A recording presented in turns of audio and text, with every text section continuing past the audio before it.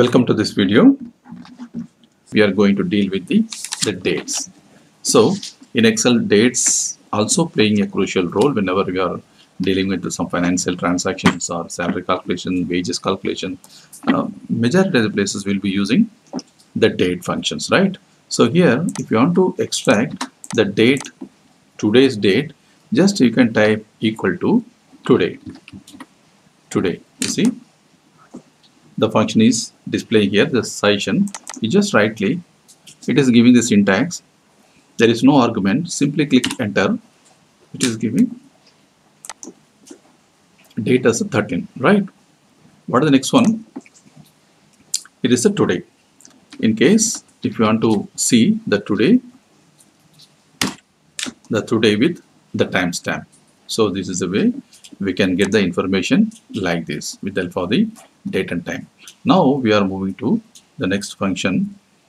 Here is here is one um, we are going to practice these. Here the dates are given, the syntax also given. You can do this. So how we can do this?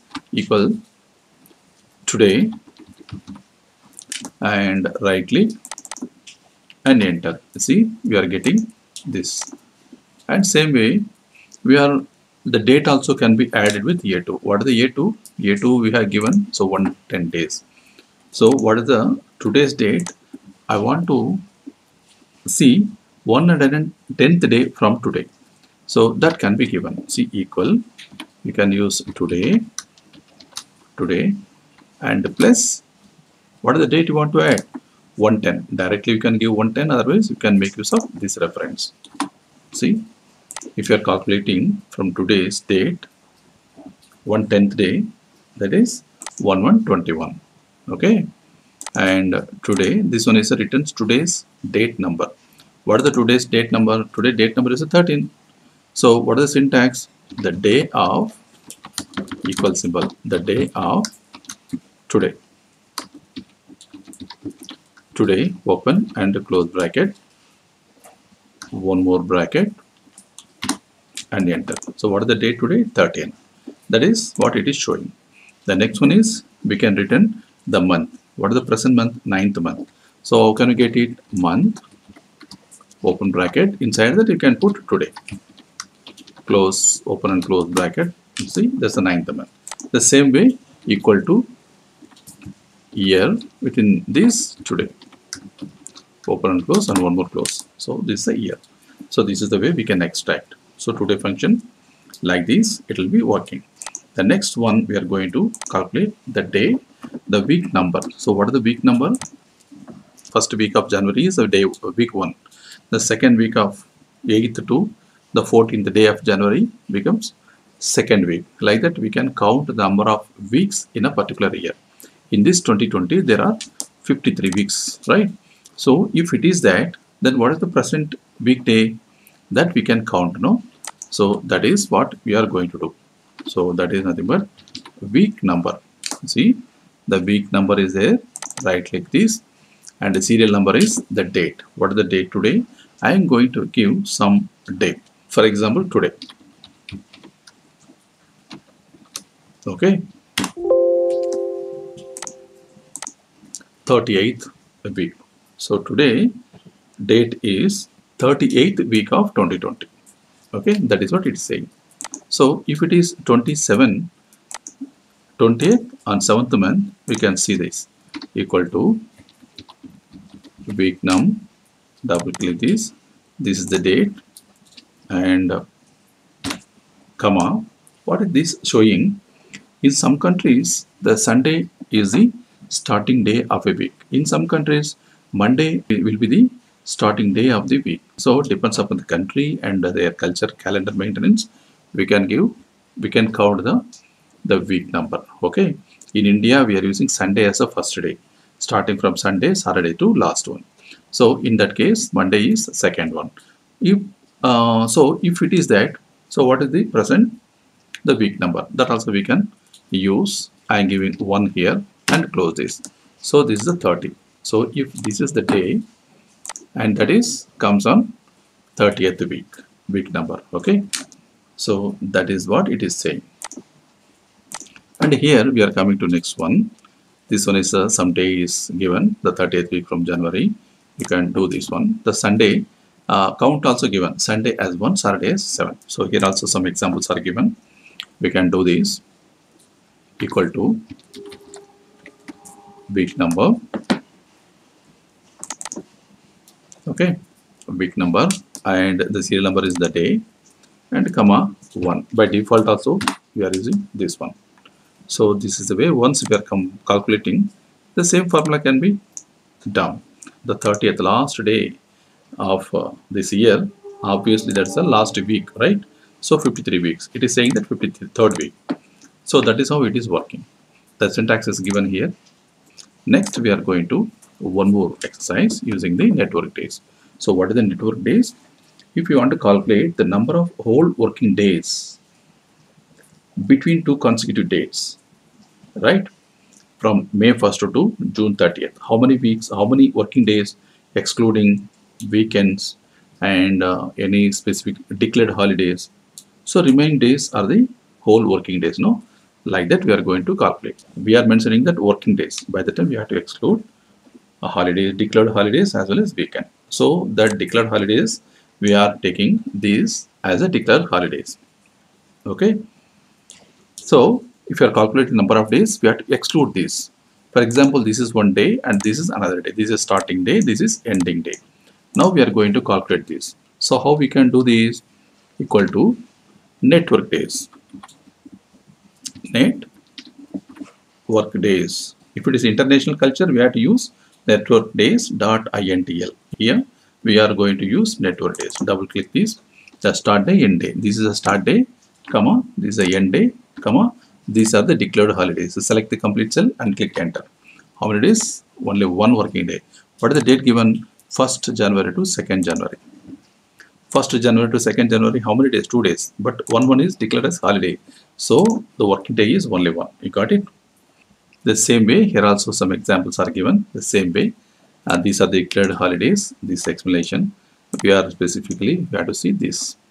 By using these dates only, we have calculated this one okay so this is network days we can calculate network days in case if you are giving some assignment to students mm, in uh, 100 days you have to publish one paper in Scopus journal or ABC category journals so by the time from today onwards 100 working days in the sense we can put today as the starting day and some other day some other ending day in between how many days. We can calculate we can fix some target. Okay now we are moving to the next one work days. This is another one. So what is the use of this work day in the sense? This helps us to find out the date of completion of the work. What we are discussing that cutoff date 100 the day you should publish the paper. That is a task this is a project you should complete within the three months. So that is how we can do that. So number of working days can be calculated. So this is the target dates and these are the declared holidays. Now we can see this. For example if you are taking some date we can convert into text also. You see equal to I am typing text. In the text value value is the date I am giving this and comma this should be written dd dd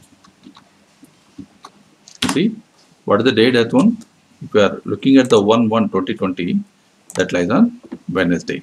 January 1st was Wednesday. That is what it is saying. Okay. It's already done this. So next one. Once if you are calculating, that formula can be dragged down. So these dates lies on this date. Okay, these dates. So that is how we can use this. So this is the syntax. Now we are moving to the next sheet. Weekday and the basic functions. I'm selecting basic functions. This is the basic functions. Here, I am preparing some budget. Example, I have given some books this much expenditure, the petrol cost this much, the rent is this one, food. So these are some expenditure. We are going to calculate this sum value. How we can calculate sum value? Equal to sum of and select hold shift key and upward arrow. I am selecting this, release it and enter the total is calculated okay i am pressing the space bar okay okay i'm deleting this once again you see instead of selecting this i can keep the mouse pointer there alt and equal it is giving the sum value. This is shortcut key okay? And here we have to calculate the random values. So put equal symbol and sum open bracket. So what is the phone? This is the phone. Hold the control key and electricity bill. This is the electricity bill. What is the next one? This is the petrol bill. The petrol bill is here. So if it is randomly present in the data we cannot use the continuous selection. By the time hold the control key use the mouse pointer click the particular cells. Now release it and click enter. See it has been copied. So this is the way we can do this right? Here control alt equal symbol will not work. Right. Here you see this is the addition value. This is the 10910 that should be coming here. That should be copied here. Equal symbol and select this cell and click enter. That's all. Here is a subtraction. What is this? This one. And keep the cursor point here equal symbol and select that enter. Now both the things come over here equal and select this minus this one. If it is subtraction the remaining is this one. Right? So this is the way addition subtraction we can do. And here marks are given. Here we have to find out the sum value we know alt equal to alt equal to that's it. Simple. And equal to average. Ab here see that has come in the list. Select that and select complete range and click enter. Average also calculated. Simple. And here is the autofill. These two cells you select and hold the mouse pointer at that bottom you drag and release. It will be calculated. It will be simply the filling the value. Here the 1 and 7 is not sequence isn't it? Some random number has given. You select both the numbers you drag sorry control z. You hold the pointer and drag till you want. You see here what is the distance? What is the gap between these two numbers? Same gap is maintained. You take any two numbers the same distance same gap is maintained. So that is the way we can do this. In case of even numbers you see you select even numbers also will be filling up. So in uh, any place in uh, excel the filling and the flash filling are very very easy tool to use in various applications various application. You have to hold the mouse pointer exactly that point. Okay? So that is the way we can do this. Here see even these numbers these numbers I am deleting this. See these numbers q1 q2 even q1 q2 also if you are drawing like this it will be same sequence will be pattern. Selections also will be possible. If you are deleting I am deleting this I show you. It's already examples shown in another class. I'm clear okay? So here is the January months are here. Months are here. Just select the first one January and drag it automatically the pattern will be displayed. Because the January February is a sequence wherever you go the same sequence. So in Excel also it is coming coming with the inbuilt sequence number. The same way if you are starting with January you will be getting that. Same way Monday Tuesday also is a sequence. You will be getting the sequence like okay? Right. So whenever you are selecting whenever you are selecting I am giving one more time see the bottom side you will be getting small icon box. You click click it. In table we can see the Monday getting here the Monday getting light red and color. No I don't want the Monday red color. I want to yellow color. You select this. Not Monday. I want to go with the Sunday. You select the Sunday. Sunday is here. And say okay. Now see the Sunday becomes yellow color. Clear like that Saturday also already selected. So you can show in a different way the table. I am deleting this sorry I am deleting the contents. Now see this is the date. The date also autofill will be using. Okay? In some places we will be asking the students to fill the data but they will be filling they will be filling somebody capital letters somebody small letters or somebody caps and small mixing. So how to prevent that? Here i'm going to make use all the uh, the given data as a uppercase.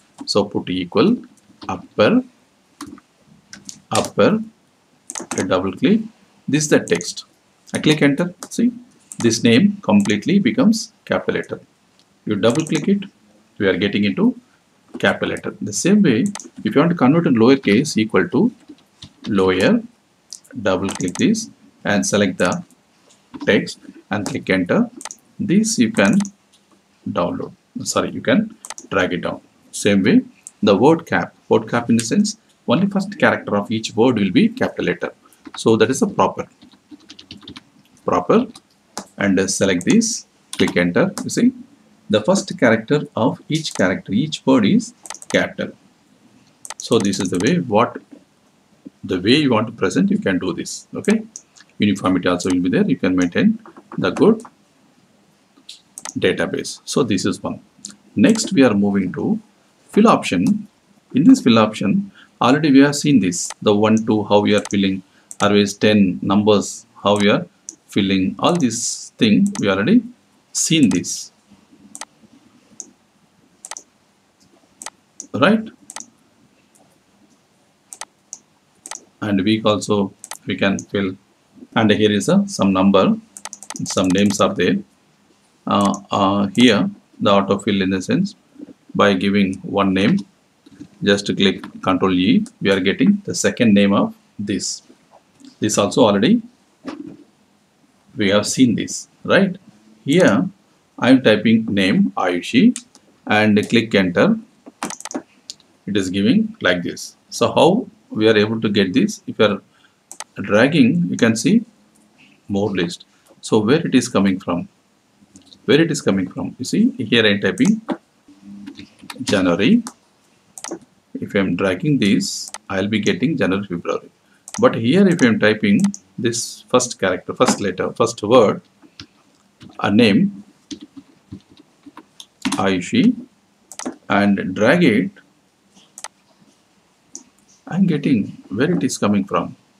It is coming from some inbuilt. I already introduced the list to Excel system. So that is why if I am typing this name I'll be able to get the complete the list what I taught to the Excel. Okay? So that list is showing in the next sheet. See? This is the sheet. In the sheet there are some names. How many names are there? You can notice that 535 names are there all the 535 names already introduced to the excel. So how we can introduce you have to select the complete cell. After selecting you go to the file option. Here it's a file option. Select the file option. Then go to options in the bottom. And in this we are getting one dialog box. The dialog box you can move here and there. In this you can see advanced. Select the advanced and browse down. You can notice edit custom list. See if you're coming down you can see edit custom list. Select this. Here it is showing some address. That address is nothing but where the list I already selected that references represented here. You just import. That list will be imported to the excel. Now say ok and say ok and close it. Now it is ready. Now you type that first name. Anyway.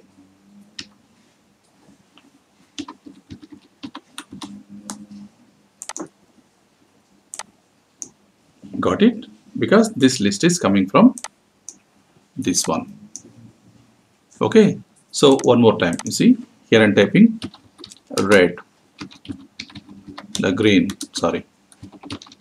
Red. Green. Yellow yellow. White. Kalyan. Delete so this is the list. This list i want to introduce to the excel. Select the list first. Go to file and click the option and go to advanced. Browse down. You see edit custom list. That list address is this. See the p third see p2 p1 2 no p2 to p7 it is showing here. Just click import and say okay and once again okay. That's it. Now see you type rate drag it. We are getting the list. So this is the way we can do this. First we have to introduce the list. Then we can ask the excel to give the list. Okay? I hope this video is very helpful for you. Thank you for watching